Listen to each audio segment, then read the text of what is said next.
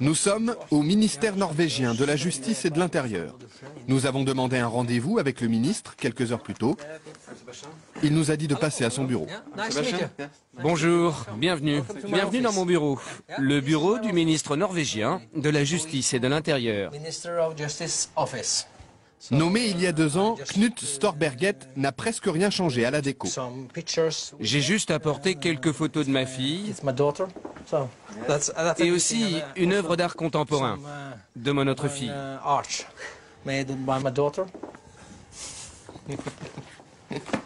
Et le reste du bureau est très simple. Vous trouvez? Oh, moi je trouve ça parfait. Ça vous suffit? Absolument.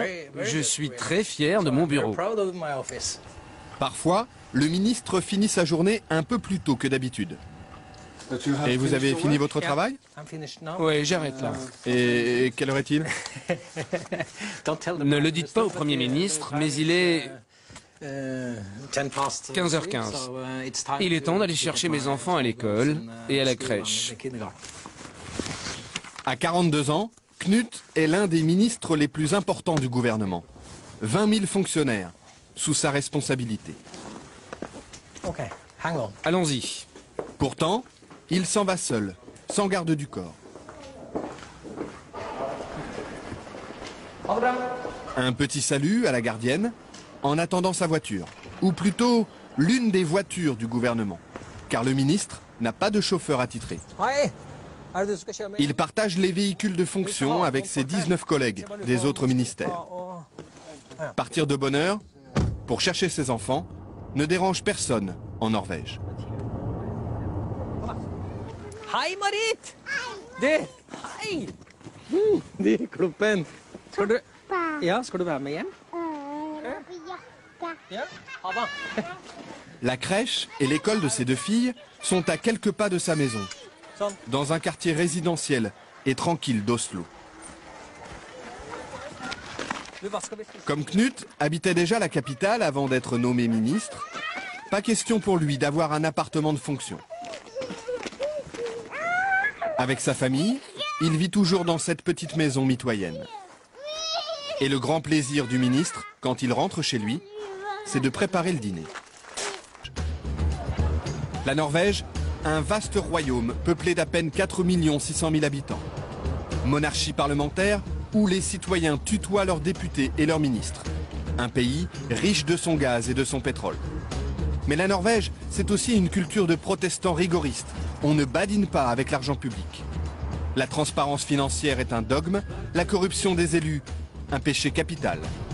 Et ce pays, c'est aussi celui d'Eva Joly. La juge franco-norvégienne travaille depuis 5 ans à Oslo. En France, elle a instruit l'affaire Elf et obtenu la condamnation de la plupart de ses dirigeants. Elle conseille désormais le gouvernement norvégien pour la lutte contre le blanchiment. Hallo. Ici, Eva Joly est une célébrité. Pour autant, pas question de mener grand train. Elle est soumise aux mêmes règles que n'importe quel fonctionnaire. Ses déplacements, par exemple. Aujourd'hui, elle se rend en province à une conférence. Les règles disent qu'on doit euh, faire les transports par les moyens les moins chers et les plus rapides compatibles avec la mission. Donc, on- nous sommes censés marcher à pied ou euh, Marcher, même si la gare se trouve à 10 bonnes minutes de son bureau. ou prendre les moyens de transport en commun. Les transports en commun et surtout pas le taxi. Au début, lorsqu'elle revenait d'une mission à l'étranger, Eva Joly rentrait chez elle en taxi et se le faisait rembourser par l'État. Habitude scandaleuse aux yeux de la presse qui l'a vite rappelée à l'ordre. Le titre était Eva Joly vit grassement au dos de l'État ou quelque chose comme ça. Donc, euh, et j'ai compris, de façon assez innocente, je peux dire, que j'avais franchi un tabou et que si je voulais prendre un taxi, je me le payais. Hei. Salut, Je suis avec une équipe de télé française là. Je leur raconte mon histoire avec les taxis. Depuis, Eva Joly dit avoir compris la mentalité de ses compatriotes. Cette intransigeance, lui apparaît comme une vertu démocratique. C'est un garde-fou très efficace et qui évite tout dérapage. Je pense qu'en France, on a vraiment vu euh, ce qui ça donne quand il n'y a pas de contrôle.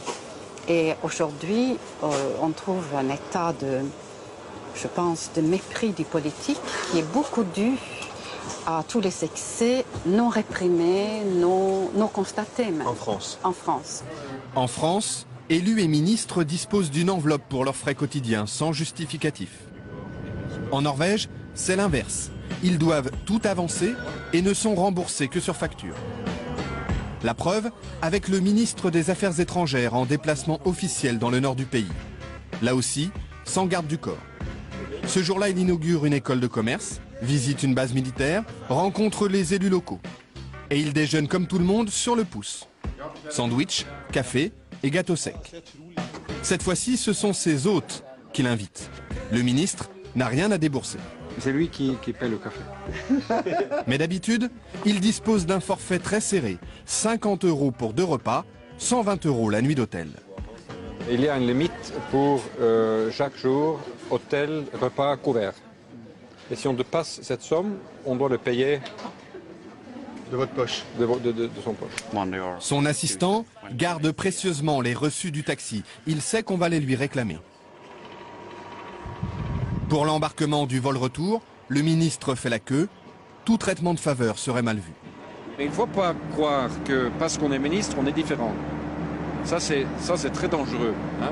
C'est faux et c'est dangereux. Euh, au contraire, il faut, il faut montrer, à mon avis, qu'on peut euh, vivre la vie de tout le monde, euh, faire l'expérience de tout le monde, être proche de cette vie que tout le monde vit.